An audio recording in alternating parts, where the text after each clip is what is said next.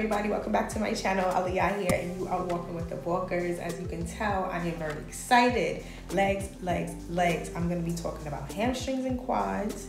I'm going to be showing you guys my very back to basics form on just how I squat, how I lunge, how I deep thrust, and as always, we're going to have some tips throughout the video on just how to get your best full range of motion. So without any further ado, let's get into the video. We're going to be talking about deadlifts first.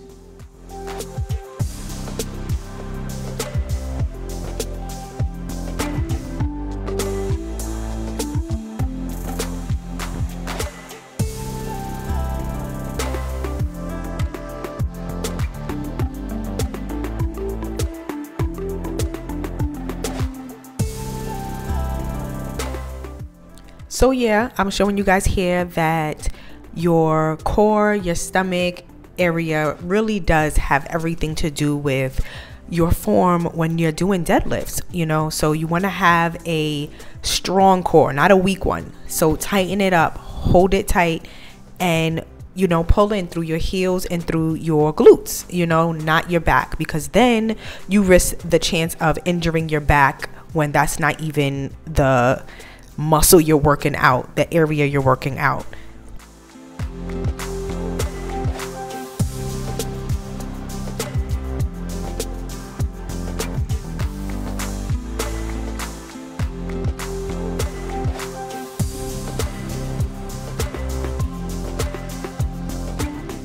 Okay, so moving on to hamstrings again, and we are going to be doing hip thrusts. I'm going to be showing you guys two different variations, one leg, and then I'm going to show you guys a modification of two legs.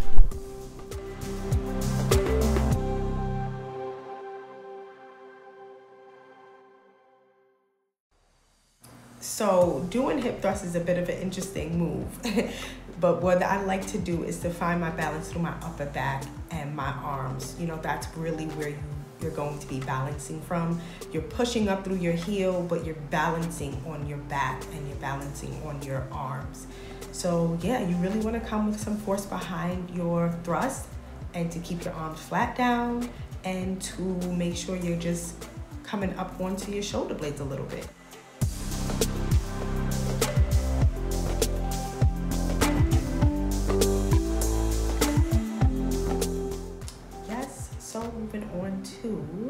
One leg deadlifts. And as y'all can see, your girl, your legs are gonna be shaking.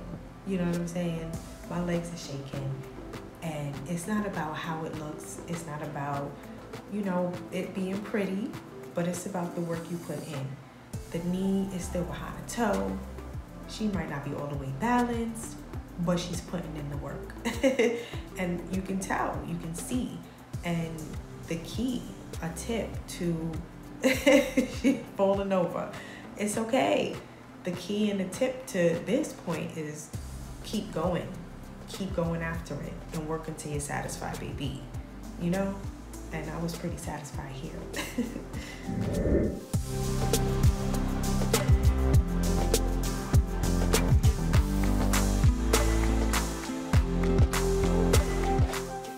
Okay, you guys, so let's make our transition to our quads. And we are doing a very basic deep squat. And I encourage you to get into it. Please get into this deep squat. make it deep, make it good. Feel it, keep the core tight, and squeeze at the top, baby. And feel it. Just get into it. Just open your hips up and accept this deep squat into your life.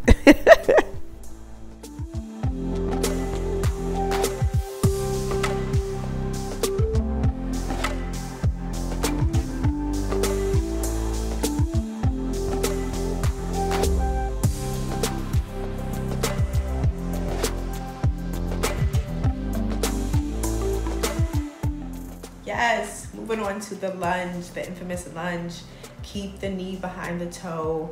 So my tip is to just worry about the knee and the toe first. Get down, get down to this position and make sure and look at your leg, look at your knee, look at your toe and make sure it's behind. However it feels comfortable to lift up at that point, then that's when you lift. Whether you use a chair, whether you use a wall, it doesn't matter as long as the knee is behind the toe.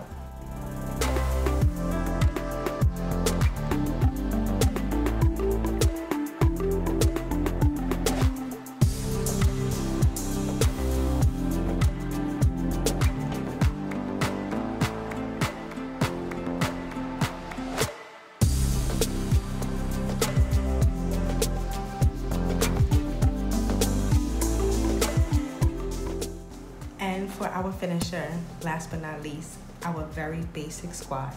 Basic, basic squat. Um, your feet are not too, you know, shoulder width apart. You know, they're not too straightforward, but they're also not super wide like the deep squat was.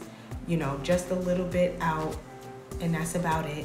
It's real basic, and you squat down, and come back up, and you squeeze at the top. I thank y'all for watching. I hope this was helpful and I will see you in my next video. Goodbye.